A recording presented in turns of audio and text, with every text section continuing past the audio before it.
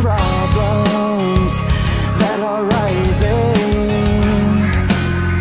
You've walked too far out into the sea, and now you're drowning.